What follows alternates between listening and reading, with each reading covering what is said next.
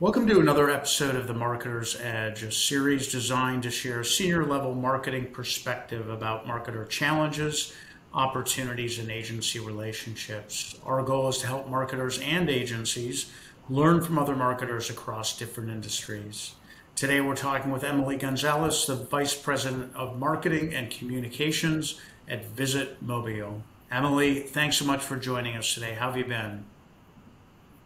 It, I've been fantastic. I'm so honored to be with you um, and, and everyone else that's listening. Oh, that's great. Thank you. Yeah, and I was really looking forward to uh, talking with you today, learning about uh, more about Mobile, Alabama, which I have to admit I have never been there, but uh, based on our earlier conversation, uh, it's in the queue for a visit for sure. So, um, so I've got a, a, small handful of questions for you today, but um, I thought before we get into those, can you tell me a little bit about Visit Mobile and um, what you do for the organization? I'd like our audience to know uh, what kind of um, organization it is and, and what you do for them. Absolutely. So I'll be honest with you. Most people have no idea what we do. Um, Visit Mobile is a destination marketing organization, and we actually are the Convention and Visitors Bureau um, for the greater Mobile area. Our job is to bring visitors to the area. Almost every city in America has one of these people if you have visitors. Um, and the reason you don't know about us is because our job is to talk with people outside of the community. But our primary people we serve is the community itself. Um, we're mostly a drive market. Um, we're located on the in- intersection of I 10 and I 65. So if you're going pretty much anywhere in the United States, you're almost going to pass us. Um, mm-hmm. The big thing is you need to stop. Um, we do have a wonderful airport, um, and we're making some um, amazing improvements. We're actually bringing our airport downtown Mobile. Um, mm-hmm. So we're really looking for an influx in um, an airlift um, because really it's going to be about six minutes from downtown.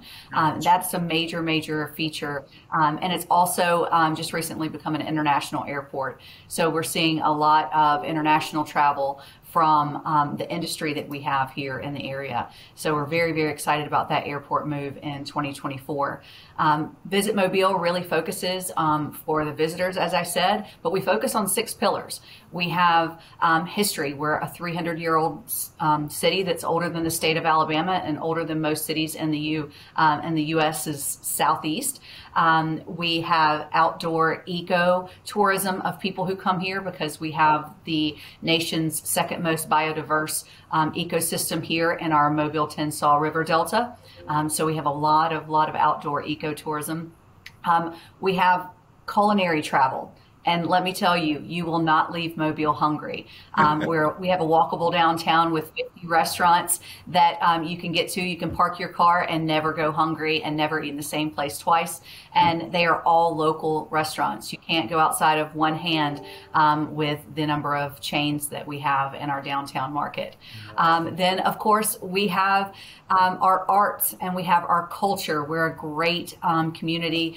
We have a standalone arts and standalone culture. It's very, very different. Um, we don't try to lump them together like some areas do because we're really unique. And what really makes us unique is our last pillar that I love to save for uh, the end, and that's that we are the birthplace of Mardi Gras in the United States. So if you think of Mardi Gras, you often think of Louisiana, but it right. actually began here before Louisiana was even founded. So um, so that's a little feather in our cap, and um, and we've had a great time um, going back and forth. But um, our Mardi Gras is very, um, very wonderful. It's it's several weeks. We have a lot of parading organizations, and it's very family friendly. So um, we welcome uh, close to a million visitors every year just on that pillar alone. That that that's awesome. That's exciting, and I'm I'm just curious. Uh, sort of your your focus is on the consumer. Is there in in your city and many other cities sort of a separate group that's focused on bringing business to uh, Mobile? Right. So we our Chamber of Commerce has a wonderful economic development arm, um, and they bring the businesses in. Our right. job is to bring the visitors in. So we focus a lot on the leisure traveler. Um, we have a cruise ship with Carnival Cruise Lines. Most people don't think of Mobile as a port city, but we're only three hours from um, from embarkment to the Gulf of Mexico to um, have wonderful cruises. Um, and then we focus on meetings and conventions. So about 20% of our visitors every year come from different meetings, conventions, sporting events, things of that nature. Okay, cool. And I noticed. Um, so it's very diverse um, market set. Okay, great. I, I took a look at your LinkedIn profile and I noticed you spent a fair amount of time as director of marketing and public relations for Kaiser Realty by Wyndham Vacation Rentals before joining Visit Mobile about four years ago. Um, I'm curious, what are some of the biggest differences marketing vacation rentals versus a city like Mobile? You know, I've always been in the travel and tourism and hospitality industry or something related to that in the 20 years since I've been out of um, undergraduate school. And, um, and what I've really found is that everyone loves to travel. Um, and and I've loved to, be able to thread my past experiences together to culminate in working for a convention and visitors bureau or a destination marketing organization. Um, the biggest challenge I had and the biggest difference, um, keeping my marketing hat on, was that I didn't have a product to sell. Um, with working for a vacation rental company, I was able to put an ad out and watch the conversion, watch everything from deliverabilities and impressions to clicks to absolutely conversion to booking a reservation and them coming in and knowing that that ad created that dollar. Right. Um, when you work for a destination marketing organization in a, in a city, you don't have that ability. So um, you realize that you're selling an area and you're and you're not selling a product, um, and that you know you really have that community focus in mind. It's more of a servant's mentality um, instead of having that dollar mentality because we don't have a ticket to sell, we don't have a burger to sell, we don't have a room night to sell, but we right. do have experiences to promote. Um, and that really changes the focus of how you market um, and how you promote what you're trying to sell. Got it. I would imagine, you know, a lot of the travel tourism advertising you see, it's very sort of emotionally sort of engaging. They're trying to draw you in with the beauty of the area or the, you know, the in the case of maybe a vacation rental, you know, the experience that you're going to have. Is there is there a difference in the way you sort of message or talk about a city like Mobile relative to a product like a Wyndham Vacation Rental? Absolutely. So the biggest difference um, that you see is you're selling um, not just a condo or a beach house. Um, and and that that was a big transition as well as I was going from the beach. Everyone knows what the beach is. It's mm-hmm. it's white sand, it's blue green water, it's um, it's it's sunburns and um, and and cookouts and some seafood and and all the great lovely things. And you come to um, Mobile and it's a very very diverse um, urban environment. Um, I spoke earlier about um, our ecosystem here that we have with America's Amazon. So you can be kayaking and paddleboarding and um, and and air, going out on airboat adventures and and fishing and all of the fun things on the water. But it's a totally different experience doing that um, in the Gulf of Mexico and or in a back bay than um, in the Mobile River or in the Tensaw Delta. And then you have the urban city itself with high rises and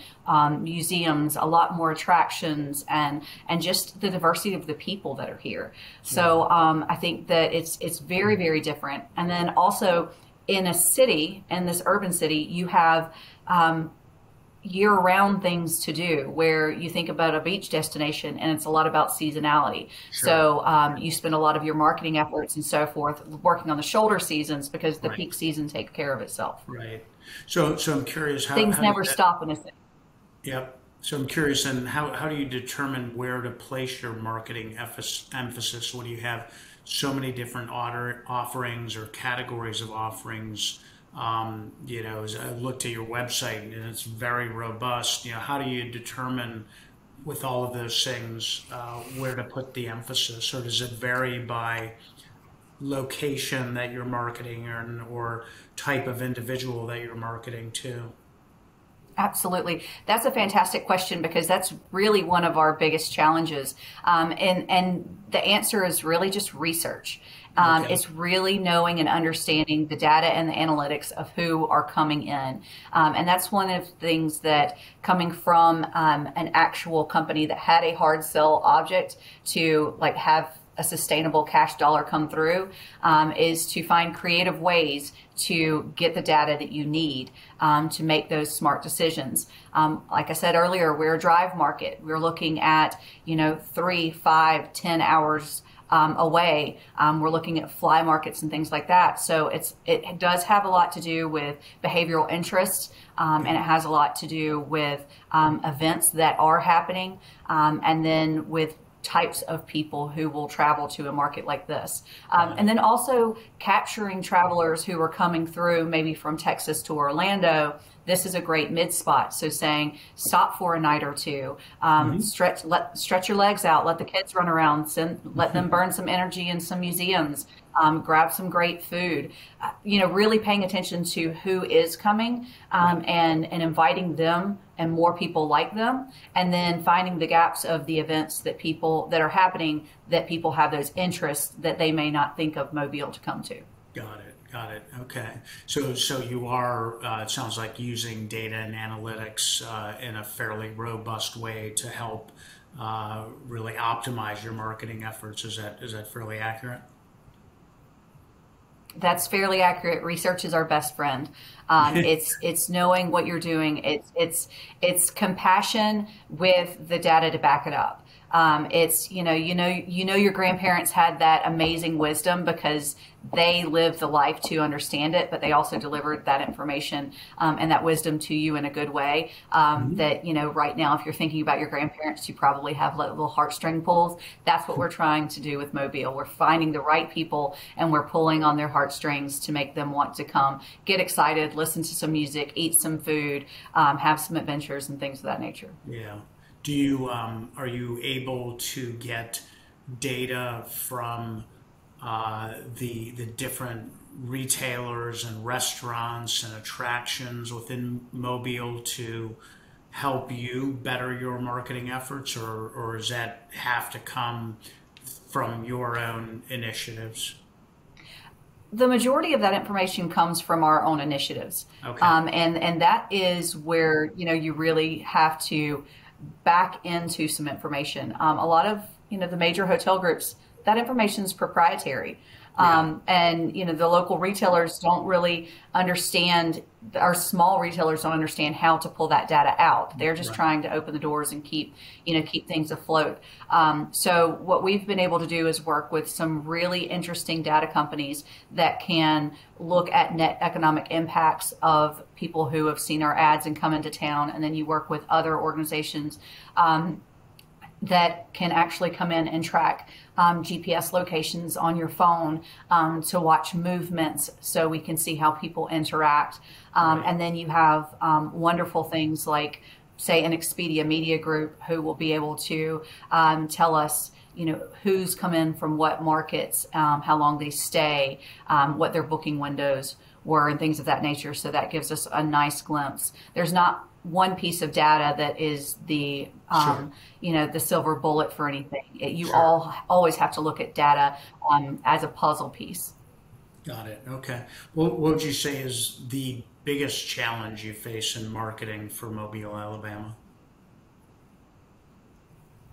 Um, I would really have to say it have to be budget. So a budget okay. with for Mobile compared to our comp set, a budget um, for all the different things we have to promote. How do you put? How do you decide where to put so much X amount of money in? Um, budget because you know advertising's expensive. Mm-hmm. Um, we have the five pillars, we have cruise, we have meetings and conventions, we have cultural heritage tourism that is really about to explode here um, with the discovery of the Clotilda, which was the last slave ship to bring human cargo into the United States 50 mm-hmm. years after it was made illegal, and the mm-hmm. resiliency of those survivors to build a community here in Mobile that still exists today. Mm-hmm. Um, there's documentaries happening, um, there's cultural centers that are opening up and tourism is beginning to boom around that.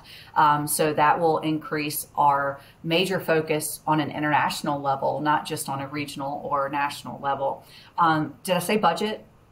Have yeah. I mentioned budget? It's always the biggest challenge. I think that's for any marketing person. I think that's really there. They would love to do so many things. Um, right. Um, but you know, Mobile is also you know, another challenge for for us in Mobile is that um, we're unique to the state of Alabama. You know, the southern states tend to have, every state tends to have its own personal reputation. Well, Mobile is very, very diverse. Um, and DEI is a big initiative for us. Um, so we're a very open community to the LGBTQ plus community. Um, our, um, our population is 52% black. Um, our education levels are, you know, really nice.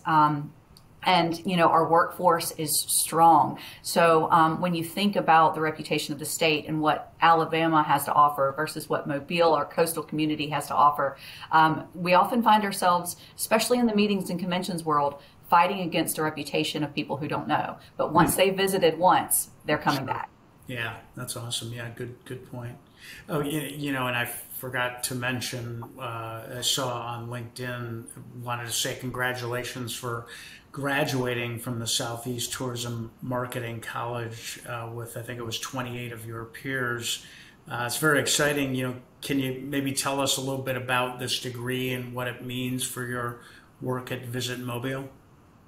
Absolutely. So, the Southeast Tourism Society is um, a fantastic organization that is actually celebrating its 39th birthday, 39th year in existence. Um, oh, wow. The birthday is actually this week as we're recording to look, uh, recording this, but um, and, and it's fantastic. It's 14 states that have come together to really focus on education and advocacy. Um, 30 years ago, um, Marketing College was founded. It's a three year program that takes um, people in the destination marketing world and takes you through um, educational series to think about the fundamentals um, all the way up to advanced marketing. Um, so there's 1,300 graduates that have made it through in 30 years. That's not a large number. It's um, it's a nice bit of uh, time and investment to put um, to put in, but um, really it's it's all about education. It's about watching trends and how trends change, and you can see that even throughout your three year program. and then really it's about networking. It's meeting people who do a lot of different things in other markets in the 14 southern states. Um, and you make some of the best friends of your life, and you always have someone to lean on.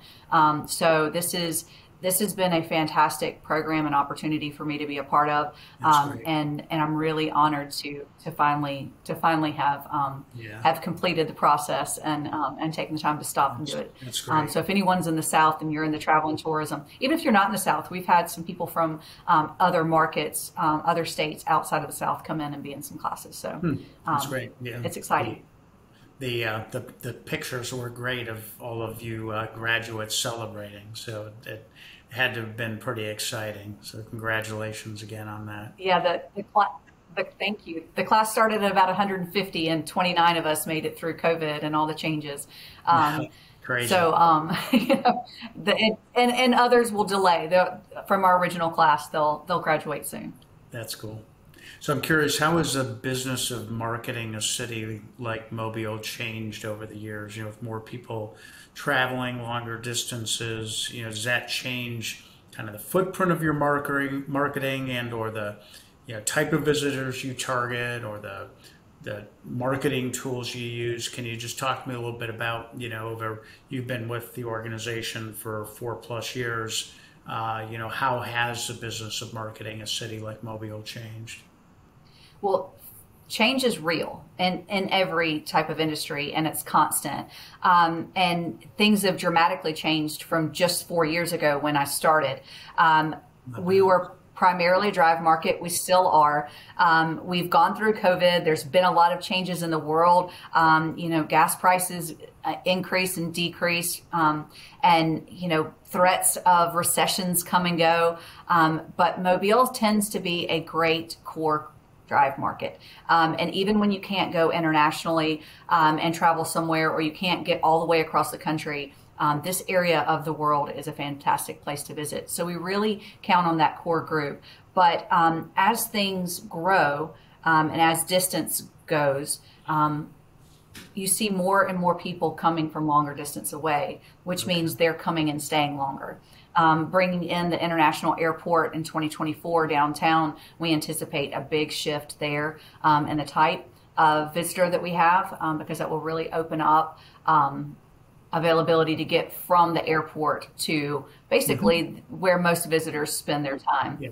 Yeah. Um, and you know we've also seen the biggest change we've really seen over the last four years is our partnerships with the state government and with regional organizations with things like we have a coastal Alabama partnership. So we look at Mobile and Baldwin counties in the state of Alabama, and we do a lot to work on discussions about ecotourism and travel and how we can work together with the Gulf Shores and Orange Beach that I was at, um, you know, for 10 years before I came to Mobile great partnerships there, um, everything on the Eastern Shore, and then what we have to offer in Mobile County. Um, we also have some great state um, organizations that we work with with the state office of tourism. Um, and then some organizations we have a group that we call the gator group um, and it's with public relations and it's from alabama through louisiana and everyone on the coastal um, northern gulf Gulf of Mexico. Um, and we work with a lot of travel writers. So we'll create itineraries that are multi state, multi city, um, mm-hmm. and, and we'll make sure that they can come in and really experience all of the different types of areas um, that the Northern Gulf of Mexico has to offer. Mm-hmm. So the partnerships have been key, um, and they've really, really grown over the past four years. That's great. That's great. So, how, how do you determine the best positioning for Mobile to most effectively differentiate it from other destinations? Um, uh, is there, you know, when you walked in four plus years ago, uh, did you see opportunities to really sort of, you know, uh, refine the positioning, or, or how, you know, how, uh, how? I'm throwing a lot at you here, but how, how does one sort of go about figuring out the best way and the most unique way to talk about a city like Mobile? You know, I think that trying to differentiate yourself is what every marketer does, no matter if they're selling a product or a destination. Sure. Um, and, and finding that is really, really difficult, um, especially if you're really close to the product. Um, so the good thing we can say and the best thing that we've been able to say over the last four years is that good SEO is your best friend hmm. um, because the analytics there will tell you what people are looking for. So you mm-hmm. can make sure that you are putting that in their face and making sure that it's on your website that you have content to support what people are interested in. Then you can turn around and build things that they may not know they're interested in and bring that to the forefront. So that's really the first place we needed to start. Um, when I got here to visit Mobile, we weren't um, doing a lot of SEO. Um, it was handled internally as best we could. Mm-hmm. We weren't doing a lot of research. Um, it was basically Google Analytics, high five. That's what we have, and we're going to watch some um, impressions and clicks happen, and and mm-hmm. and we think that's a good old job. Um, and I'm a wee bit of a, a of a data nerd, and um, and it you know it's taken a little bit of time, but we've really really dug into um, into that research um, and and leaned on things and made sure that any any, any campaigns that we're doing that we're getting real true data back. Um, you know, when when we look at um, history, every city has its history, but not every city has, you know, Mardi Gras and Joe Cain and the story of the resiliency of Africa Town and sports. We have three college bowl games, collegiate bowl games that happen in Mobile. If you like mm-hmm. sports at all, this is a great city for you. Um, we have five Hall of Fame baseball players. You know, you just like sports and you're interested in that type of thing, you're going to stumble across Mobile because even if you're not really a sports person, I bet you know who Hank Aaron is. Um, so, um, you know, and then with the biodiverse ecotourism and our walkability, you know, there's just so much there. So it's easy to get someone interested in one thing and really plug in the rest. But it's the data that helps us find those people and that behavioral um, and those interest levels that are really making the difference in how we're we're able to effectively take um, our budgets and and present those experiences to the people who are um, interested in coming. That's great. So, um, do you currently use an agency to help with any of your marketing efforts? We occasionally will outsource an agency um, okay. for a special project or campaign, um, okay. but we mostly do everything in house. So, creative and design is in house, our social media is in house, our media buying is in house um, and that type of thing. Uh, we do have a public relations agency um, that we use, and they are phenomenal. Um, they're a small agency that I cannot brag on enough. They've done a tremendous job. We've just had them um, for just at a year, and um, and and I couldn't imagine life without them. They've been great. great. What, what, do you see as the advantages of having uh, an in-house staff? So really, it's it's about you know your team. Um, so it's about being able to control um, the vetting opportunity and vetting the opportunities that come to you.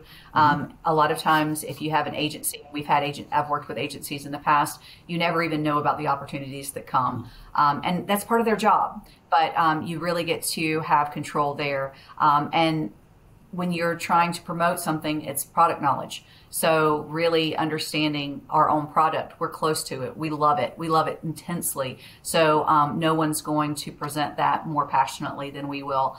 Um, and it allows us to easily pivot. So when we're looking at the data and we see something that might need to shift from one market to a next or shift the creativity, we can do that on the fly. Um, and, you know, did I mention earlier budget?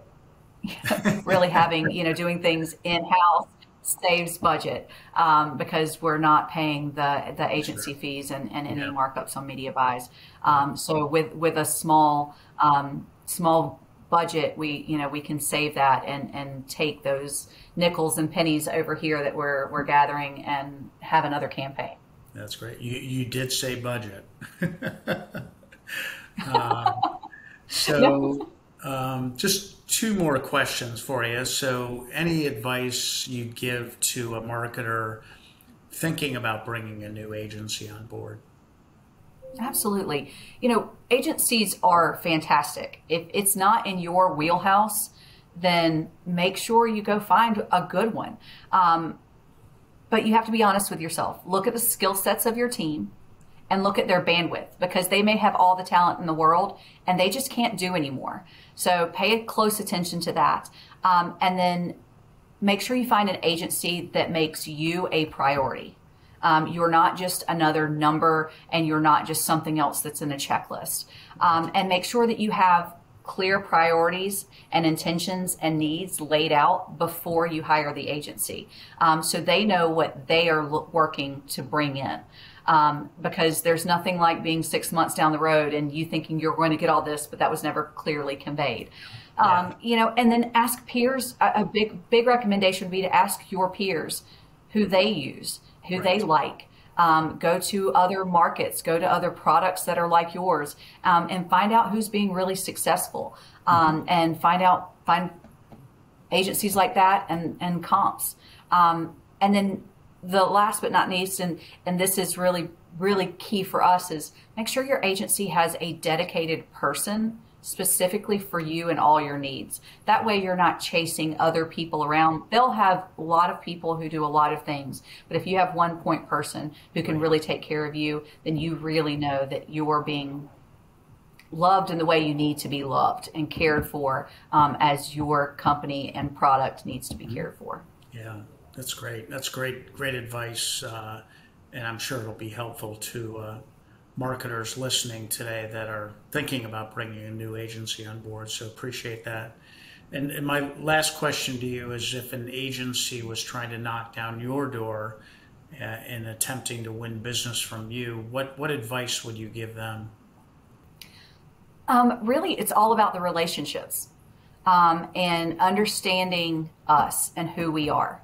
Um, so many agencies will call on us and they won't understand what a destination marketing organization does. Hmm. And they don't understand that um, where our funding comes from, that it's, um, we, although we have a board of directors and we have a, a set budget, we're, you know, governmental and semi-political. Um, that sometimes there's red tra- red tape and and caveats and strings attached to how we can and cannot spend the money, um, and they're not well aware that we don't have a hard sell product. So you know, there's that. Just have the hotels tell you that the person came in and the reservation came from your website and how much money you made, and it's like right. that's not how this works. So really understanding what we do that's key. Um, and then when you're approaching, you know, knowing that we don't have hard a hard conversion sell, come with some ideas and recommendations of metrics that we can track. Um, what can we call a conversion? What can we define as a win? Um, come with recommendations there, and then um, really look around the industry and make sure that when you come to hold a conversation with us, you understand what industry benchmarks are for our specific type of travel and tourism. Yeah, that's great. Do you get, do you get a lot of calls from agencies every week? Um, daily. so um, yeah. what what what is the worst sales pitch you've heard from an agency? Uh, we've worked with X, so you should just trust us.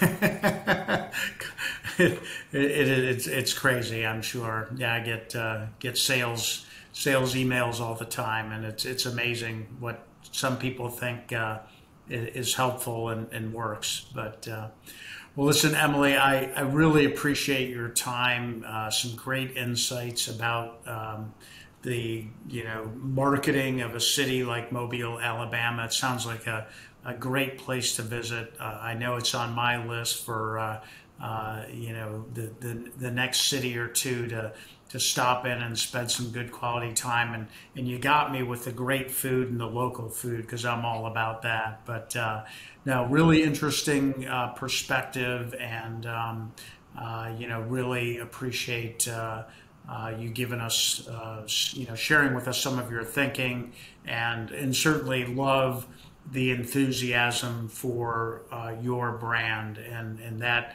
that clearly comes across. And I would imagine in a position like yours is is super critical. You know, you got to love the brand that you're selling, and it it really uh, appears that you do. So, so thanks so much, and and I I hope you. Uh, enjoy the rest of your week and you have a, a really nice weekend down there in Mobile.